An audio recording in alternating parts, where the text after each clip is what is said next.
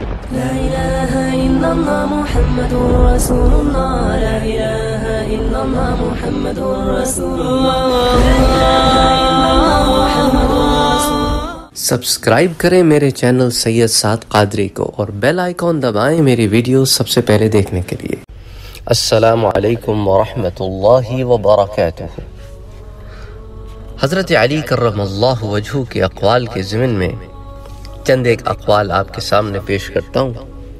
پہلا قول جو حضرت علی کرم اللہ وجہ کا پیش کر رہا ہوں، یہ بظاہر بڑا عجیب سا معلوم ہوتا ہے، لیکن اس کے اندر ایسے ایسے موتی چھپے ہوئے ہیں کہ سبحان اللہ۔ حضرت علی کرم اللہ وجہ نے فرمایا کہ جب تک مومن، یہ کس کی بات ہو رہی ہے؟ یہ مومن کی بات ہو رہی ہے۔ ایمان والے کی بات ہو رہی ہے، جس کے دل میں ایمان ہے۔ لیکن وہ چاہتا ہے کہ اس کو کامل ایمان نصیب ہو جائے۔ تو اگر تم چاہتے ہو کہ تمہارا ایمان کامل ایمان ہو جائے اور تم ایمان میں درجہ کمال پر پہنچ جاؤ، تو حضرت علی کرم اللہ وجہ نے فرمایا کہ جب تک مومن خوشحالی کو فتنہ اور بلا کو نعمت نہ خیال کرے، تب تک اس کا ایمان کامل نہیں ہوتا۔ اب آپ کہیں گے، بھائی، خوشحالی اس پر تو الحمدللہ کہا جاتا ہے۔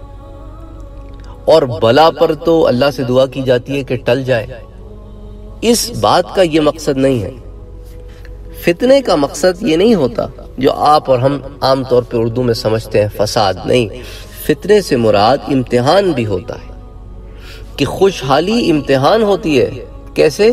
کہ تم کہیں اللہ کو بھول تو نہیں جاتے۔ کہیں تم اس خوشحالی کو غلط مصارف میں تو نہیں استعمال کرتے، غلط چیزوں میں تو نہیں استعمال کرتے۔ کہیں ایسا تو نہیں کہ تم اسی لیے مومن اچھے تھے کہ تم غریب تھے، اب پیسہ آ گیا تو تم بھی عیاشیوں میں پڑ گئے ہو۔ تم نے بھی ہر طرف سے لٹانا شروع کر دیا پیسہ۔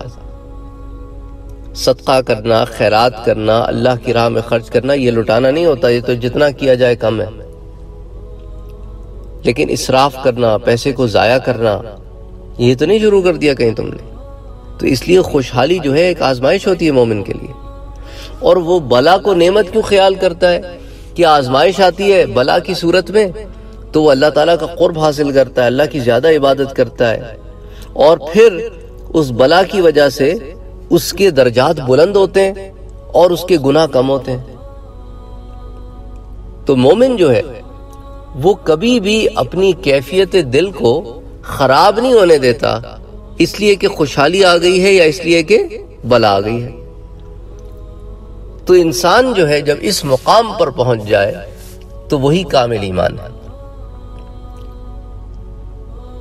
اچھا اب دیکھیں نا مثال کے طور پہ ایک بزرگ کا واقعہ آتا ہے کہ جب ان کو خبر ملی کہ ان کا سرمایہ ڈوب گیا تو کہنے لگے، الحمدللہ. اور جب پتا چلا کہ نہیں، پہلی خبر جو ہے وہ غلط تھی تو کہنے لگے کہ الحمدللہ۔ تو لوگوں نے پوچھا کہ بھئی یہ کیا بات ہوئی کہ آپ نے دونوں کیفیتوں میں الحمدللہ کہا؟ کہنے لگے کہ پہلی کیفیت پہ الحمدللہ اس لیے کہا کہ بھئی اگر میرا سرمایہ ڈوب گیا ہے تو چلو اللہ نے اب اس حساب کتاب سے بچا لیا۔ اب اس کا حساب کتاب نہیں ہوگا نا، اب یہ جو سرمایہ ڈوب گیا تو ڈوب گیا۔ حساب کتاب سے بچ گیا۔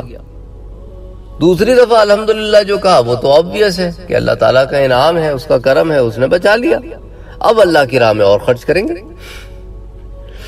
اسی طرح حضرت علی کرم اللہ وجہ کا ایک اور قول ہمارے سامنے آتا ہے، فرمایا کہ بھئی دیکھو، خوشی ہے اس شخص کے لیے جو اللہ تعالیٰ کے عذاب کا خوف کھائے۔ خوشی ہے اس شخص کے لیے جو اللہ تعالیٰ کے عذاب کا خوف کھائے۔ اور پھر صدق دل سے ایمان لائے۔ سبحان اللہ۔ تو ایمان کا لانا خلوص کے ساتھ بہت ضروری ہے۔ ہمارے اندر ایمان کی کمی اس لیے ہے کہ ہم نے صدق دل سے ایمان نے قبول کیا۔ ہم نے بس زبانی کلامی ایمان قبول کر لیا۔ ہمارا ایمان جو ہے وہ ڈاما ڈول ہے۔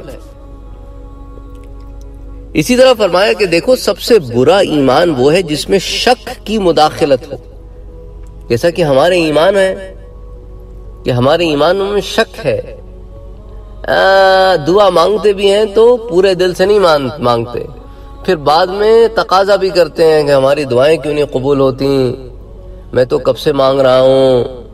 یا پھر مانگتے ہوئے کہ ہاں چلو اگر قبول ہوگی ہوگی، نہیں ہوگی تو چلو مانگی تو تھی۔ یہ کس قسم کی دعا ہے بھائی؟ دعا تو یہ ہوتی ہے کہ اللہ سے دعا مانگو اور پھر مطمئن ہو جاؤ اور مانگنا نہیں چھوڑو اور نا امید بھی نہیں ہو۔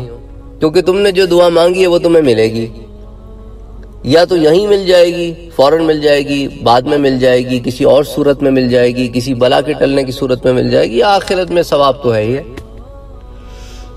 تو ایمان والے کی دعا اللہ سے جو مانگتا ہے، وہ خالی نہیں جاتی کبھی بھی۔ کسی نہ کسی صورت میں تمہیں لوٹائی جاتی ہے، تو بے صبری نہ کرو۔ کیونکہ تم نہیں جانتے تمہارے لیے اچھا کیا ہے اور کب ہے اور کہاں ہے اور کیسے ہے، اللہ تعالیٰ جانتا ہے۔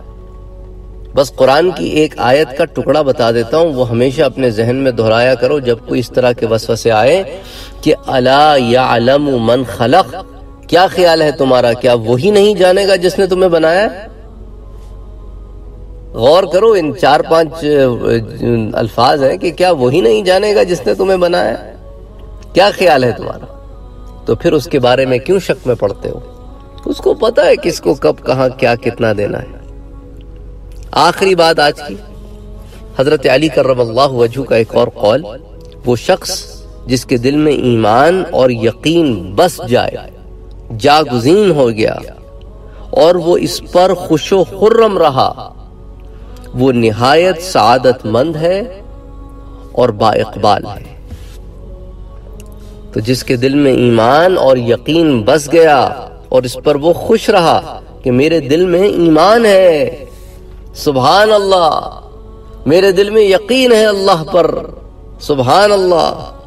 تو یہی تو وہ شخص ہے جو سعادت مند ہے، خوش بخت ہے۔ اور انشاءاللہ تعالی آخرت میں با اقبال ہوگا۔ اللہ تعالیٰ اس کے درجات کو بلند کرے گا۔ تو ایمان ہونا اور ایمان پر یقین ہونا۔ اور اللہ تعالیٰ کی طرف سے آئی ہوئی چیزوں پر صبر اور شکر کرنا، یہ تمام کیفیتیں جو ہیں، ان کا تعلق دل سے ہوتا ہے۔ اور وسوسے جب آئیں، تو ان سے یقین لڑنے میں بہت مدد کرتا ہے۔ دل میں یقین کی کمی ہو، تو وسوسے میں انسان بہ جاتا ہے۔ وَمَا عَلَيْنَا إِلَّا الْبَلَاغ۔